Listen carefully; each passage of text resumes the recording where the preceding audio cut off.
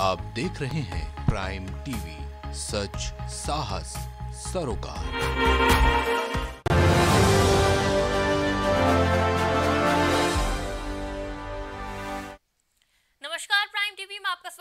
आपके साथ शिखा मेहरोत्रा शुरुआत करते हैं उत्तर प्रदेश खबरों की।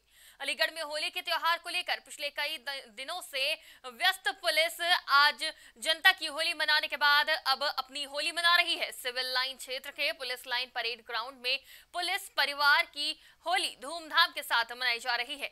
सभी अधिकारियों ने मिलकर परेड ग्राउंड में जमकर होली का आनंद लिया। होली खेलने के दौरान अधिकारी और पुलिसकर्मी साउंड सिस्टम ढोल नगाड़े पर डांस करते हुए भी नज़र आए और इस दौरान एसपी ग्रामीण शुभम पटेल सहित सभी डीएसपी थिरकते दिखाई दिए।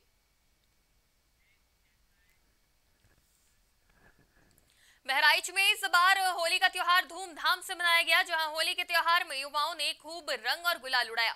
वहीं जिलाधिकारी डॉक्टर दिनेश चंद्र ने अपने आवास पर होली के शुभ अवसर पर इस बार मीडिया कर्मियों को दावत पर बुलाया। मीडिया कर्मियों के संग अबीर गुलाल लगाकर होली खेली गई और एक दूसरे को होली की शुभकामनाएँ भी दी गई। इस दौरान बहराइच के पुलिस अधीक्षक केशव प्रसाद चौधरी समेत ज़िले के अधिकारियों और पत्रकारों के साथ अबीर गुलाल लगाकर होली खेलेगी।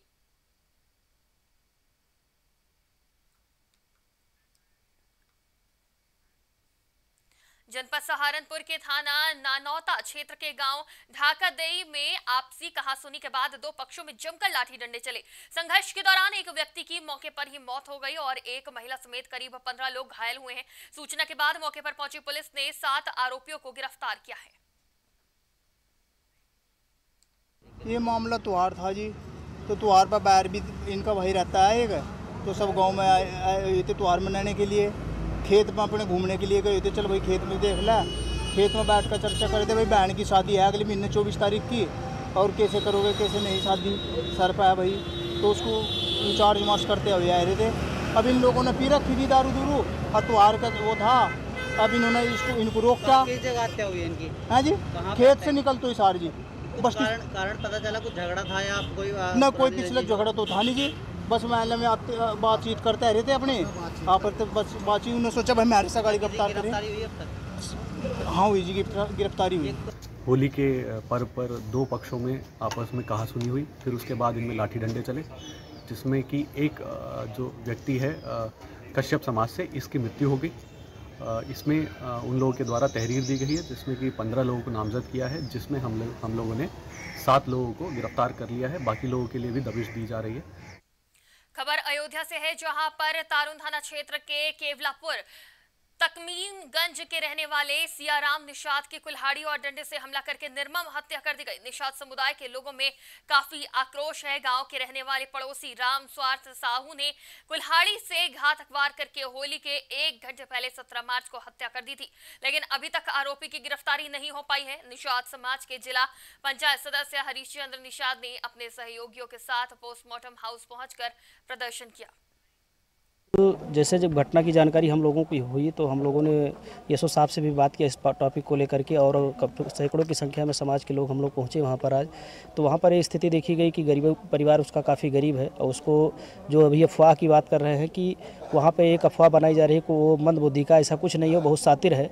इससे पहले भी एक दो घटनाएँ कर चुका है और समाज में बहुत ज़्यादा आक्रोश है, हम लोगों ने देखा सबके अंदर बहुत ज़्यादा आक्रोश है। तो मैं आपके माध्यम से निवेदन करना चाहता हूँ, प्रशासन से चौबीस घंटे से भी अधिक हो गए, उसका भी कोई सुराग नहीं मिला है। तो हम लोग यही कहना चाहते हैं कि अगर उसकी गिरफ्तारी नहीं होती है तो हम लोग जो है अंतिम संस्कार नहीं करेंगे शव का और शव को रख करके हम लोग प्रदर्शन करेंगे। सियाराम निषाद नाम के व्यक्ति, एक राम स्वारत गुप्ता है, उनके घर के बाहर से गुजर रहे थे। राम स्वारत गुप्ता की बूढ़ी माँ चारपाई पर बैठी थी। उन्होंने उनसे अनुरोध किया, चारपाई खिसकाने में मदद करने के लिए। सियाराम निषाद मदद कर रहे थे, तभी अनायास राम स्वारत गुप्ता घर से बाहर निकल कर आए। उन्होंने लाठी से, डंडे से उनके सर पर वार कर दिया सियाराम निषाद के। सियाराम निषाद को तुरंत हॉस्पिटल ले जाया गया। दौरान इलाज जहाँ उनकी मृत्यु हो गई है।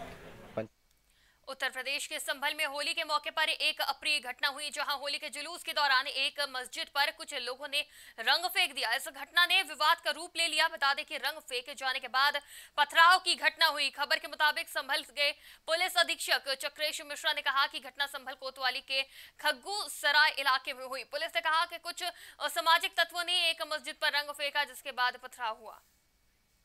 आज दोपहर होली के जुलूस के दौरान किसी अराजक तत्व के द्वारा एक मस्जिद पर रंग फेंकने की घटना प्रकाश में आई।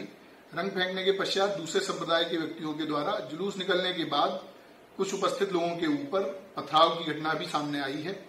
इसके बाद जुलूस सकुशल संपन्न हुआ। जुलूस के संपन्न होने के बाद यह जानकारी प्राप्त हुई कि मौके पर काफ़ी भीड़ इकट्ठा है। पुलिस के द्वारा दोनों पक्षों को समझा उजाकर शांत कराया गया। दोनों पक्ष अपने अपने घर जा चुके हैं। मौके पर शांति व्यवस्था पूरी तरह कायम है। मस्जिद पर लगे हुए रंग को स्थानीय लोगों के सहयोग के द्वारा, पुलिस के द्वारा साफ़ करा दिया गया है। किसी प्रकार की जान माल का कोई नुकसान नहीं है।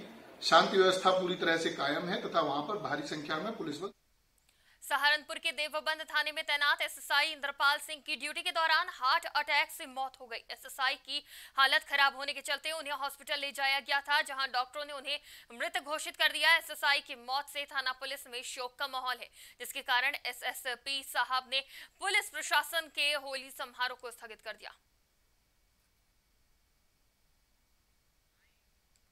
देखिए बड़े ही दुख के साथ मैं सूचित करना चाहता हूँ कि आज थाना देवबंद पर वरिष्ठ उप निरीक्षक जो इंद्रपाल सिंह हैं, इनकी हृदय गति रुकने से हार्ट अटैक से आज इनकी मृत्यु हो गई है।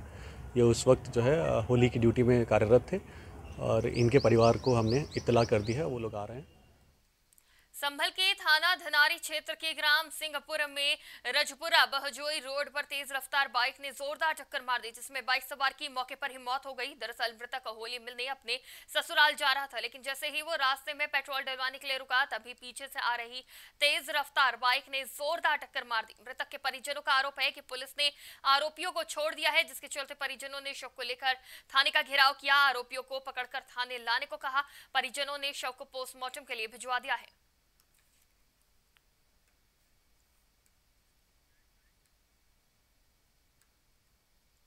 होली की शुभकामनाओं के साथ उत्तर प्रदेश की खबरों में फ़िलहाल इतना ही। देश दुनिया की तमाम खबरों के लिए देखते रहिए प्राइम टीवी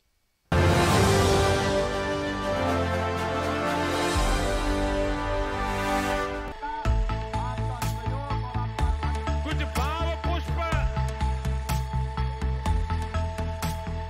आप देख रहे हैं प्राइम टीवी सच साहस सरोकार।